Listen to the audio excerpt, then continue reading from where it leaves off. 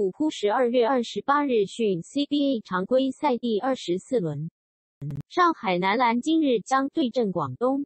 据球队官方表示，主教练斯帕夏已经康复，将执教本场比赛。